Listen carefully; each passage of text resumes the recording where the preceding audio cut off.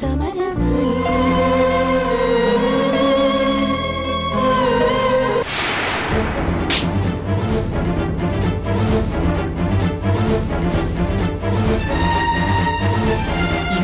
മറന്നേക്കണോ അവനെ? മറക്കാനും മാറ്റിവെക്കാനും വെറുമൊരു പ്രണയക്കുരുക്കല്ലിത്.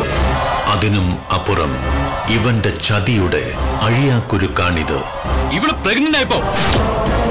അവളെ കെട്ടി സുഖമായി ജീവിക്കുക അവളുടെ ചെലവിൽ.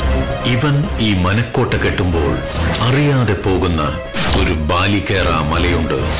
ഈ പെൺകൊച്ചിനെ എനിക്ക് മരുമകളായിട്ട് വേണ്ട.